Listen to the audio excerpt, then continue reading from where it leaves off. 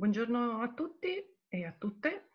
Eh, ci troviamo qui per eh, parlare brevemente di Unione Europea per cinque minuti, non di più, che è un compito molto difficile perché ci sono tante cose da dire. Eh, allora, la prima cosa giustamente è iniziare dicendo che cos'è l'Unione Europea e anche che cosa non è l'Unione Europea. Per fare questo eh, ci aiuteremo con alcune slide che cercano un pochino di spiegare quello che è, è l'Unione Europea. L'Unione Europea è, una, è un'organizzazione internazionale, quindi nasce da trattati che sono stati firmati da alcuni Stati membri, che però nel corso del tempo ha cambiato la propria natura, è diventato qualcosa di molto più importante di una normale organizzazione internazionale eh, e ha finito per assomigliare per molti temi, per molti aspetti a uno Stato, pur non essendo uno Stato, nemmeno uno Stato federale. Quindi in questo momento noi siamo in grado in parte di dire cos'è l'Unione Europea, quindi un'organizzazione internazionale sui generis, però non sappiamo dire esattamente cosa è nella sua consistenza e cosa sarà nel futuro.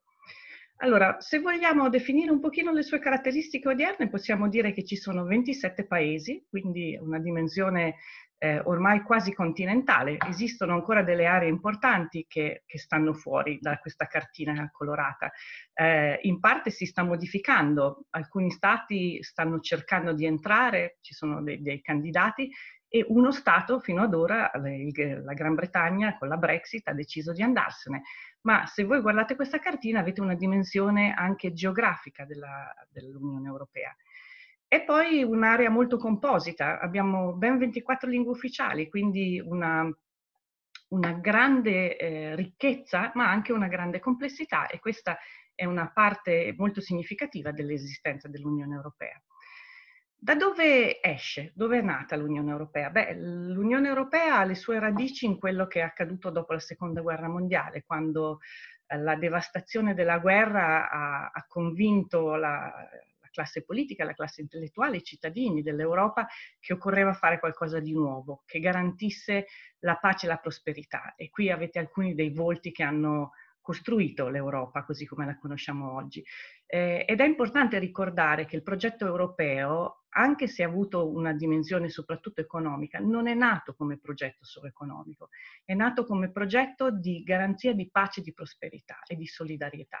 Eh, questa in parte è stata sviluppata nel tempo, in parte si è un po' persa e questo invece noi dobbiamo sempre ricordarlo. Eh, ci sono anche delle cose che simboleggiano la nostra identità prima di tutto il nostro motto. Il motto dell'Unione Europea è Uniti nella diversità, è un motto molto importante perché dà conto della ricchezza ma anche della complessità. Noi siamo uniti, l'Unione Europea è un'organizzazione che mira a unire eh, non solo le istituzioni ma i popoli, ma nella diversità, nel rispetto della specificità di ogni paese. E questo implica che il progetto è un progetto dinamico, non si eh, arriva una volta per tutte ad avere questa unità, ma è qualcosa che si costruisce nel tempo e che si adatta al cambio delle circostanze. Abbiamo un inno, un bellissimo inno, l'inno alla gioia di Beethoven, eh, che eh, diciamo è forse la punta più alta della, della nostra identità culturale. Abbiamo una moneta unica ehm, che ha avuto delle grosse difficoltà, tuttora delle grosse difficoltà. Non tutti i paesi dell'Unione Europea partecipano, ma simboleggia anch'essa l'idea dell'unità eh, e quindi è un, è un risultato importante, seppur non completo.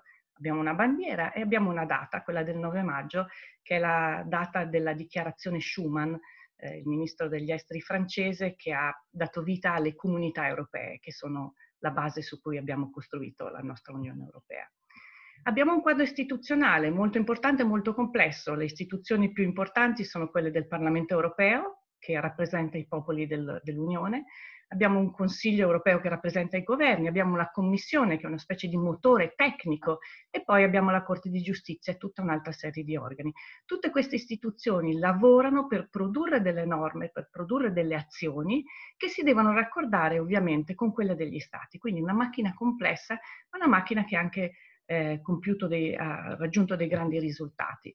C'è un bilancio, un bilancio che è un bilancio importante, anche se rappresenta solo circa l'1% della ricchezza prodotta dai Paesi membri, con cui vengono di, vengono sviluppate tutta una serie di politiche che vanno dall'agricoltura alle, alla coesione economica territoriale, alla sicurezza, all'immigrazione, alla politica estera, all'aiuto umanitario, eh, alla crescita economica, quindi tutta una serie di settori dove l'Unione Europea ha messo in atto una serie molto importante di politiche. Non c'è praticamente aspetto della nostra vita quotidiana che non sia interessata qual in qualche maniera da queste attività dell'Unione Europea.